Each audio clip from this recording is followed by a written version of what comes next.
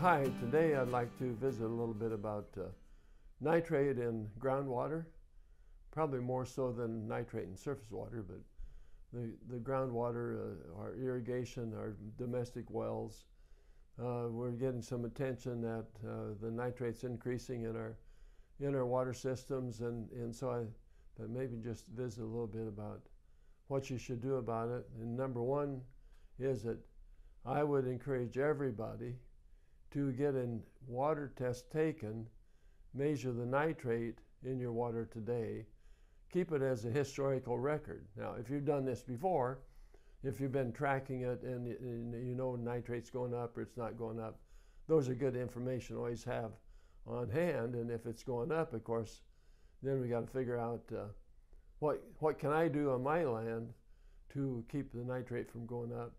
And am I using the nitrate in the water for when I'm irrigating?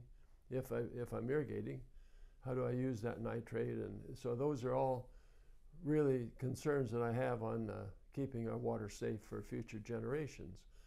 The other uh, interesting thing is that uh, sometimes uh, nitrate is a it's an ion that is makes other elements more soluble.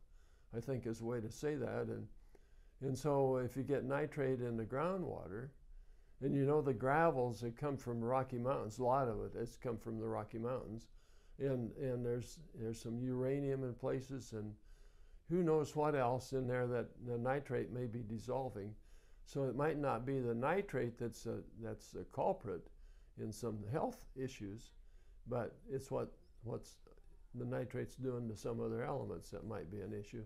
And it's so difficult to measure those things that it's more important to just control the nitrate in the water, keep it from getting any higher.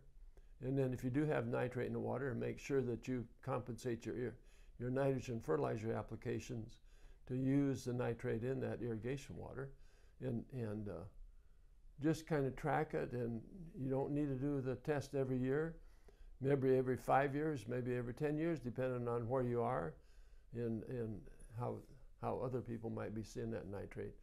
But it's really important to get a nitrate or water test now, measure the nitrate, and of course, you want to measure other nutrients in there, that's fine.